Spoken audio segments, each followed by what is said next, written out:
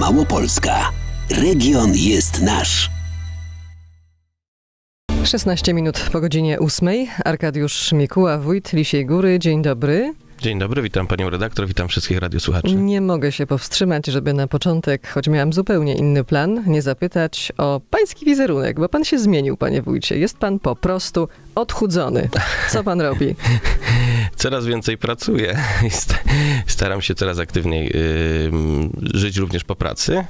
E, być może pewne nawyki udało mi się zmienić. Jakieś bieganie, jakieś spacery? Do biegów tak szybko się jednak nie przekonam, e, ale myślę, że troszeczkę pewne zwyczaje żywieniowe, e, ale i również taka mm, zwykła aktywność, rzeczywiście taka poza, poza pracą. To tak y, cichutko. Ile? Już mniej? No, do 10 się zbliżamy. No właśnie, to widać, dlatego pozwoliłam sobie o to zapytać na początek, a teraz już bardzo poważne sprawy związane z tym, co się dzieje w Lisiej Górze. No między innymi pytają nasi słuchacze, czy jakiekolwiek ruchy w sprawie obwodnicy Lisiej Góry jeszcze w tym roku?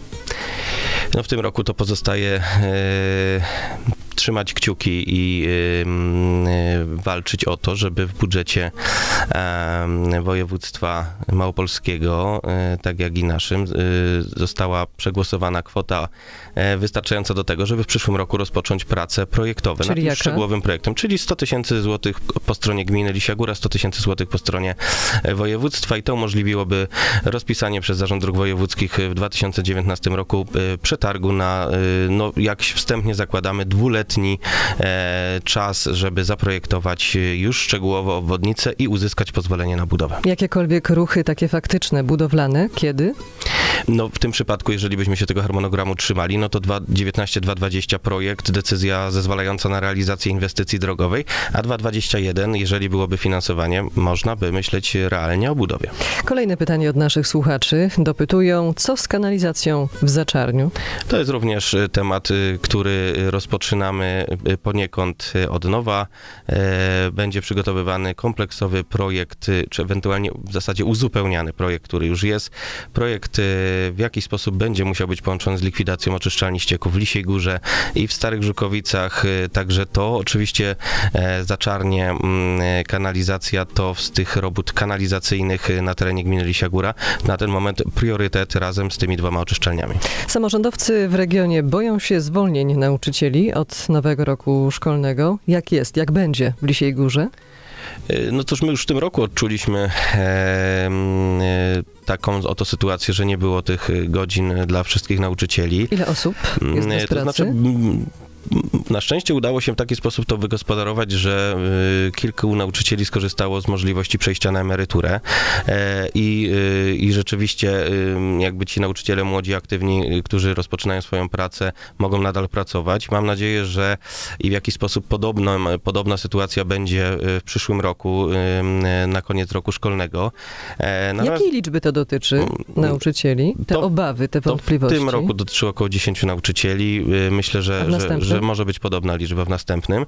Natomiast powiem szczerze, że budżet gminy odczuł to bardzo istotnie, ponieważ to są ogromne odprawy, które musieliśmy wypłacić i nie ukrywam, że kwota, którą musieliśmy uzupełnić e, oświatę e, teraz na koniec roku, była kwotą bardzo dużą właśnie w związku z przejściem e, nauczycieli na emeryturę, w związku z tym, że nie mieli po prostu, nie było dla nich godzin. To jest, same odprawy to było około pół miliona złotych. Najważniejsza inwestycja budżetowa? Na przyszły rok? Tak.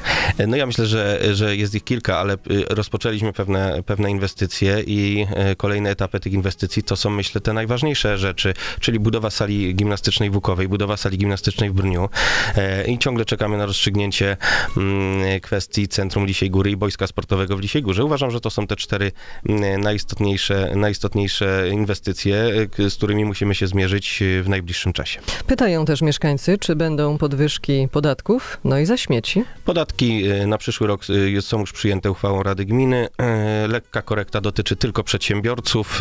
Czyli zwyżka. Tak, lekka zwyżka, natomiast gmina Lisia Góra ciągle pomimo tej zwyżki jest najatrakcyjniejszą gminą z tych gmin sąsiadujących bezpośrednio z Tarnowem, jeżeli chodzi o stawkę podatku chociażby od metra kwadratowego powierzchni pod działalność gospodarczą, więc tutaj zapraszamy wszystkich przedsiębiorców do Lisiej Góry. Natomiast podatki dla mieszkańców indywidualnych, dla rolników, rolników y, zostały na poziomie z roku ubiegłego. Śmieci ogłosiliśmy drugi przetarg, pierwszy został unieważniony z uwagi na to, że kwota wzrosła prawie dwukrotnie, e, więc zastosowaliśmy kilka rozwiązań, które mam nadzieję spowodują, że ta kwota spadnie. E, Trzeba sobie zdawać sprawę jasno i wszyscy o tym powinni wiedzieć, że śmieci to, e, ja nazywam to podatkiem. To jest podatek, który w najbliższym czasie będzie wzrastał sukcesywnie z roku na rok. Być może za kilka lat stanie się najdroższym podatkiem, który, który płacimy, natomiast staramy się zastosować takie rozwiązania, żeby po prostu ten wzrost e, tych cen był jak najniższy i po tym przetargu, jak otworzymy, jak otworzymy, rozstrzygniemy przetarg, będziemy wiedzieć, czy będzie potrzebna e, podniesienie e, stawek za śmieci w Lisiej Górze, czy być może się uda, że nie będzie. A podnosić. będą kredyty, będą pożyczki w tym budżecie na przyszły rok? Ale przecież to jest normalne, każdy samorząd w, tym kraju bierze kredyty. Będzie mniejszy, będzie mniejszy kredyt niż w tym roku, co trzeba też podkreślić, że kredyt, który w tym roku był zaplanowany, raczej na pewno nie będzie wykorzystany w 100%, więc to jest jakby kolejny rok e, taki, gdzie Rada pozwala mi zaciągnąć kredyt dużo większy niż w rea- realnie jest, jest wykonanie później tego kredytu. Program e-senior w Lisiej Górze podobno po pierwsze działa znakomicie, a po drugie jest bardzo duże zainteresowanie. Zgadza się, e, naprawdę świetny odzew ten program. I na Bardzo- czym dokładnie polega jeszcze powiedzmy? program polega na tym, że osoby powyżej 65 roku życia e, uczą się jakby tych podstaw i zaprzyjaźniają się ze sprzętem komputerowym, z tabletami, z komputerami i krótko mówiąc w takim posługiwaniu się w sieci w, w dzisiejszych czasach no jest, to, jest to bardzo potrzebne i bardzo przydatne. I nikogo nie trzeba było namawiać? No po pierwsze nie trzeba było namawiać, po drugie pewnie jakbyśmy mieli jeszcze więcej miejsc, to mielibyśmy jeszcze więcej chętnych, a myślę, że teraz po tym jak są pierwsze już e, jakby e, oznaki i oceny mieszkańców, którzy biorą udział w tym, w tym programie, to byśmy mieli jeszcze dwa razy tyle chętnych. 40 osób w tym roku bierze udział, a będą mieli e, 15 lekcji po 3 godziny lekcyjne. E, Na koniec tego programu dostają e, na własność tablety, na których pracują przez, przez e, cały ten okres. W przyszłym roku kolejne 40 osób.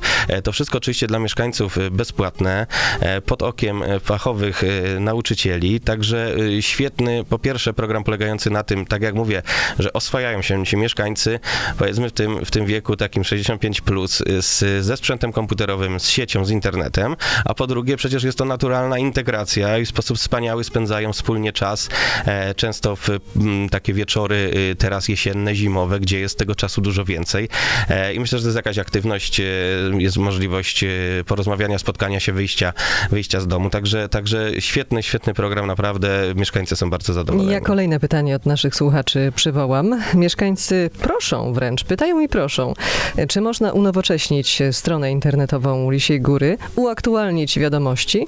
No to pytam, czy będą zmiany na Strona stronie? internetowa y, w, w ciągu y, poprzedniej kadencji była przynajmniej dwa czy trzy razy zmieniana, aktualizowana i na pewno e, przyglądamy się w tym momencie, jakie elementy tej strony są, e, być może wymagają jakichś zmian, korekt i na pewno takie korekty myślę, że po nowym roku e, będą, będą wykonane. Jak najbardziej tutaj e, słuchamy e, to, co mieszkańcy, jakie mają uwagi. E, przecież ta strona ma przede wszystkim im służyć do tego, żeby mieli na bieżąco kontakt i na bieżąco informacje, aktualności z, z tego, co dzieje się w gminie. Wygrany projekt w ramach budżetu obywatelskiego Małopolski. Wiem, że 2000 głosów, wiem, że dwudniowa impreza, między innymi będzie na sportowo i na rokowo. Kiedy dokładniej? Co się będzie działo? E, Tak, to rzeczywiście wspaniała informacja e, na sportowo, na rokowo. Myślę, że końcówka lipca, wstępnie 20 chyba 8 lipca mamy sobotę, e, 29 niedzielę, bo to dwudniowa wielka impreza. Projekt e, wygrany mm, przede wszystkim dzięki głosom mieszkańców. Duża E, mobilizacja 2000, była? 2000 głosów ponad to tylko głosy zebrane na kartach, na ankietach, a jeszcze do tego myślę, że co najmniej kilkaset e, głosów e, zebranych w głosowaniu internetowym. E, Bardzo serdecznie dziękuję z tego miejsca wszystkim mieszkańcom. Będzie wspaniała, wspaniała uroczystość taka rozrywkowa, taka sportowa, bardziej sportowo w sobotę, bardziej rozrywkowo-koncertowo w niedzielę. Mogę wstępnie zdradzić w sobotę... Jakieś gwiazdy, proszę Tak jest. W zdradzić. sobotę zespół Ira, w niedzielę zespół Happy Set, a gwiazda wieczoru w niedzielę to zespół Perfect.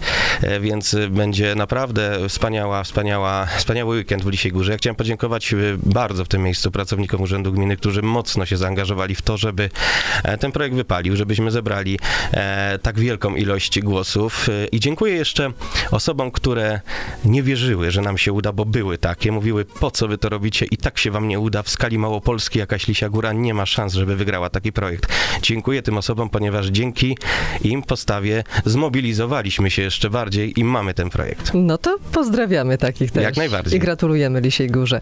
Arkadiusz Mikuła, wójt Lisiej Góry, w czwartkowy poranek. Bardzo dziękuję za spotkanie. Dziękuję serdecznie, do usłyszenia.